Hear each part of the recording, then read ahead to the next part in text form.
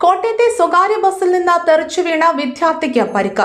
ജീവനക്കാർ തള്ളിയിട്ടതായും ആരോപണം.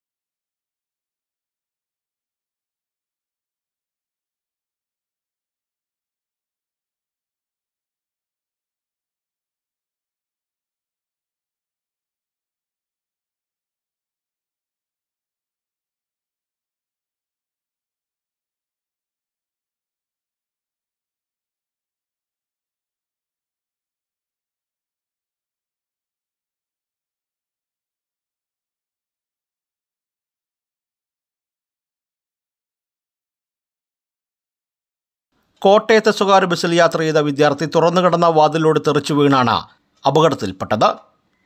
തെറിച്ചു വീണതിന്റെ സി സി ടി വി ദൃശ്യങ്ങൾ പുറത്തു വന്നു. മുഖമടിച്ചു വീണ വിദ്യാർത്ഥിയുടെ പല്ലുകളിലൊന്ന് ഒടിഞ്ഞു. രണ്ട് പല്ലുകൾ ഇളകിയിട്ടുമുണ്ട്. ചുണ്ടിനും കൈക്കും പരിക്കേൽക്കുകയും ചെയ്തിട്ടുണ്ട്. പാക്കിൽ പുതുപ്പറമ്പിൽ ഷിനോയുടെ മകൻ അഭിരാമിനാണ് പരിക്കേറ്റത്. വെള്ളിയാഴ്ച ഉച്ചകഴിഞ്ഞ് മൂന്ന് നാൽപ്പത്തിയഞ്ചിന് പാക്കിൽ പവർ ഹൗസ് ജംഗ്ഷനിലാണ് അപകടം നടന്നത്. പള്ളം സി എം എസ് സ്കൂളിലെ എട്ടാം ക്ലാസ് വിദ്യാർത്ഥിയാണ് അഭിരാം. കോട്ടയം കൈനടി റൂട്ടിലോടുന്ന സ്വകാര്യ ബസ്സിൽ വീട്ടിലേക്ക് വരുന്നതിനിടെയാണ് അപകടം സംഭവിച്ചത്. പവർ ഹൗസ് ജംഗ്ഷനിൽ ഇറങ്ങുന്നതിന് അഫുരാമും സുഹൃത്തുക്കളും തയ്യാറെടുക്കുന്നതിനിടെ അഫുരാം പുറത്തേക്ക് തെറിച്ചു വീഴുകയായിരുന്നു. സംഭവം അറിഞ്ഞ് നാട്ടുകാർ ബസ് തടഞ്ഞു. അഫുരാമിനെ ആദ്യം ജനറൽ ആശുപത്രിയിലും പിന്നീട് വിദഗ്ധ ചികിത്സയ്ക്കായി മെഡിക്കൽ കോളേജിലേക്കും മാറ്റി. ചുണ്ടിന് തുന്നലുണ്ട്.